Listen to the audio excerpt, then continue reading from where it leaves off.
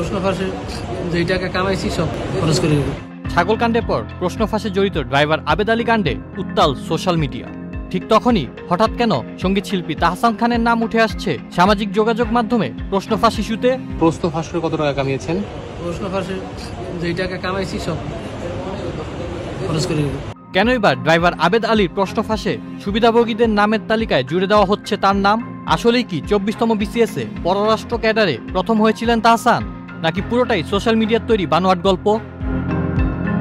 সামাজিক যোগাযোগ মাধ্যমে কেউ কেউ স্ট্যাটাস দিয়ে লিখছেন, তাহসানের মা সাবেক পিএসসি চেয়ারম্যান ডক্টর জিনাতুন্নেসা তিনি ক্ষমতার অপব্যবহার করে তাহসানকে চব্বিশতম বিসিএসে পররাষ্ট্র ক্যাডারে প্রথম করিয়েছিলেন। এমনকি সে সময় তার মায়ের ড্রাইভার ছিলেন প্রশ্ন ফাঁসে জড়িত আবেদ আলী।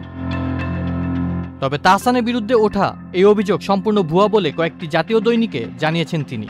শুধু তাই নয়, তিনি কখনো বিসিএস পরীক্ষাই দেননি। তাই চব্বিশতম বিসিএসে পররাষ্ট্র ক্যাডারে প্রথম হওয়ার তো প্রশ্নই আসে না।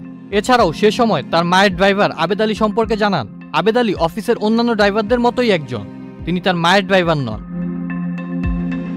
সোশ্যাল মিডিয়ায় রিউমার স্ক্যানার গ্রুপের ফ্যাক্ট চেকিংয়েও উঠে এসেছে পুরো বিষয়টিই ভুয়া। সেখানে বলা হয়েছে তাহসানের পররাষ্ট্র ক্যাডারে প্রথম হওয়ার দাবিকৃত চব্বিশতম বিসিএস পরীক্ষাটি দুই হাজার তিন সালের আঠাশ ফেব্রুয়ারি প্রিলিমিনারি পরীক্ষার পরই প্রশ্ন ফাঁসের অভিযোগে তিন মার্চ বাতিল করে বাংলাদেশ সরকারি কর্ম কমিশন পরবর্তীতে পুনরায় প্রিলিমিনারি পরীক্ষা এবং প্রথমবারের মতো ভাইভার মাধ্যমে নিয়োগ কার্যক্রমে প্রথম হন কাজী এহসানুল হক। এদিকে সংগীত শিল্পী তাহসান খান তার ভেরিফাইড ফেসবুক পেজে কষ্ট শিরোনামে একটি গান শেয়ার করে লিখেন জীবন আজও হলুদ সংবাদের পাতায় মোড়া কাঠগড়ায় আসামি আমি, তোমার নীরব ওই বিবেক। বাংলাদেশ সিভিল সার্ভিস পরীক্ষা সহ গত বারো বছরের ত্রিশটি নিয়োগ পরীক্ষার প্রশ্ন ফাঁসের অভিযোগে গ্রেপ্তার হয়েছেন বাংলাদেশ সরকারি কর্ম কমিশন পিএসসির তিন কর্মকর্তা ও সাবেক গাড়ি চালক সৈয়দ আবেদ আলী সহ সতেরো জন।